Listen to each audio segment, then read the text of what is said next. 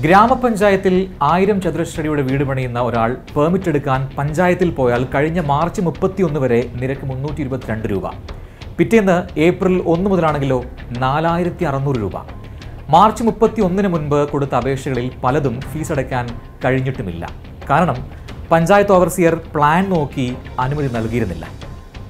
വിസ്തീർണം ആയിരത്തി അറുന്നൂറ് ചതുരശ്ര അടിയായാൽ മാർച്ച് മുപ്പത്തി ഒന്ന് വരെ നൽകിയിരുന്നത് അഞ്ഞൂറ്റി ഇരുപത്തി അഞ്ച് രൂപയാണ്. ഇപ്പോൾ അത് ഏഴായിരത്തി അഞ്ഞൂറ് രൂപയും. മുൻപ് കൊടുത്ത തീരുമാനമാകാത്ത അപേക്ഷകളിലൊക്കെ ഏപ്രിൽ ഒന്ന് മുതൽ ബാധകമാകുന്നത് പുതിയ ഫീസാണ്. വീട്ടുപറമ്പത്തിൽ സർക്കാർ പറഞ്ഞത് എന്താണ്? എൺപത് ചതുരശ്ര മീറ്റർ വരെ നിരക്ക് വർദ്ധിപ്പിച്ചിട്ടില്ല എന്നാണ്. അതായത് എണ്ണൂറ്റി അറുപത്തിയൊന്ന് ചതുരശ്ര അടിവരെയുള്ള വീടുകൾക്ക് കൂട്ടിയിട്ടില്ല. വിമർശിക്കുന്നവർ ആരും ഇത് പറയുന്നില്ല എന്നാണ് മന്ത്രി പറഞ്ഞത്. സംഭവം ശരിയാണ്. പക്ഷേ ഒരു തിരുത്തുണ്ട്.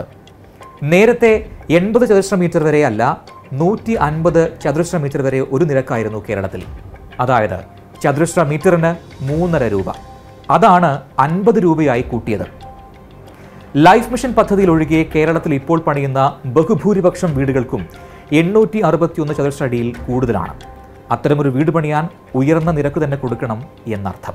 ആദ്യം പറഞ്ഞത് പഞ്ചായത്തിലെ കാര്യമാണ്. ഇനി നഗരസഭയുടെ കാര്യം നോക്കാം.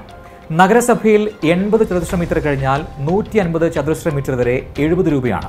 അതായത് തൊണ്ണൂറ്റിരണ്ട് ചതുരശ്ര മീറ്റർ അഥവാ ആയിരം ചതുരശ്ര അടിയുടെ വീട് പണിയാൻ ഇറങ്ങിയാൽ നഗരസഭയിലെ പെർമിറ്റ് ഫീസ് ഇനി ആറായിരത്തി നാനൂറ്റി നാൽപ്പത് രൂപയാകും.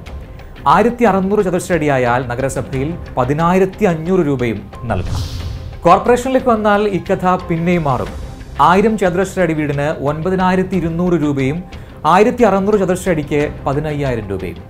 ആയിരം രൂപയിൽ താഴെ മുടക്കി പെർമിറ്റ് എടുക്കുന്നവർക്കാണ് പതിനായിരവും പതിനയ്യായിരവും മുടക്കേണ്ടി വരുന്നത്. വലിയ വീടുകളിലേക്ക് വന്നാൽ നിരക്ക് ഇവിടെങ്കും നിൽക്കില്ല എന്ന കാര്യം വ്യക്തവുമാണ്. രണ്ടായിരം ചതുരശ്ര അടി അഥവാ നൂറ്റി എൺപത്തിയാറ് ചതുരശ്ര മീറ്ററുള്ള വീടിന് പഞ്ചായത്തിൽ പതിനെണ്ണായിരത്തി അറുന്നൂറ് രൂപ അടയ്ക്കണം. നഗരസഭയിൽ ഇത് ഇരുപത്തിയൊരായിരത്തി അറുന്നൂറ് രൂപയാണ്. കോർപ്പറേഷനിലേക്ക് എത്തിയാൽ കേട്ടാൽ തന്നെ തീപിടിക്കും ഇരുപത്തിയേഴായിരത്തി തൊള്ളായിരം രൂപ. ഇപ്പോൾ തന്നെ കെട്ടിട നിർമ്മാണ മേഖല തകർന്ന് നാശമായി കിടക്കുകയാണ്. പുതിയ കെട്ടിടങ്ങളെയൊക്കെ പണി നാമമാത്രവുമാണ്. അതിനെപ്പോലും പിന്നോട്ട് വലിക്കുന്നതാണ് ഇപ്പോഴത്തെ നിരക്ക് എന്ന വിമർശനം ഉയർന്നു വരുന്നത് ഈ സാഹചര്യത്തിലാണ്. ഇത്രയും പറഞ്ഞതെല്ലാം കെട്ടിടം പണിയാനുള്ള പെർമിറ്റ് എടുക്കുന്നതിന് നിരക്കിലാണ്.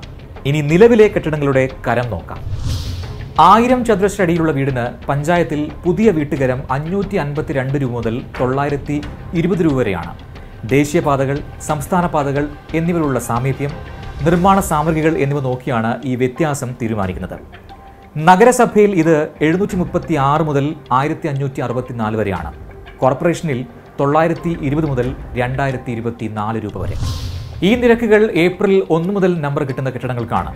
എന്നാൽ പഴയ കെട്ടിടങ്ങൾക്കും നിരക്ക് വർദ്ധിക്കും. ആയിരം രൂപ നൽകിയിരുന്നവർ ഇനി ആയിരത്തി അൻപത് രൂപ നൽകണം. അഞ്ച് ശതമാനമാണ് വർധന. ആയിരം ചതുരശ്ര വീട് പണിയാൻ മുപ്പത്തിയെട്ട് ലക്ഷം രൂപയെങ്കിലും ആകും. അതിന്റെ ഒരു ശതമാനം പോലും വരുന്നില്ലല്ലോ ഈ തുക എന്നാണ് സർക്കാർ വിശദീകരിച്ചത്. വസ്തു വീട് വെച്ച് മക്കളുടെ പഠനവും കല്യാണവും വരെ നടത്തുന്നവർ വീട് വെക്കാൻ ഇറങ്ങുന്നത് കയ്യിൽ നയാ പൈസ ഇല്ലാതെയാണ്. ഉള്ളത് പൊളിഞ്ഞു വീഴുമ്പോൾ ഗതിയില്ലാതെ വീട് പണിയാൻ ഇറങ്ങുന്നവർ മുൻകൂറായി പതിനയ്യായിരവും ഇരുപതിനായിരവും വരെ എങ്ങനെ കണ്ടെത്തും എന്നാണ് ചോദ്യം. Okay thank you Prajency Kannan. നിങ്ങളുടെ കൈപുള്ളുമെന്ന ഉള്ള കാര്യം സംശയരഹിതമായി തെളിഞ്ഞു എന്നാണ് ഞാൻ മനസ്സിലാക്കുന്നത്. സാധാരണക്കാരൊക്കെ നമ്മുടെ നാട്ടിൽ വീട് പണിയുന്നത് കയ്യിൽ പൈസയൊന്നും വെച്ചുകൊണ്ടല്ല.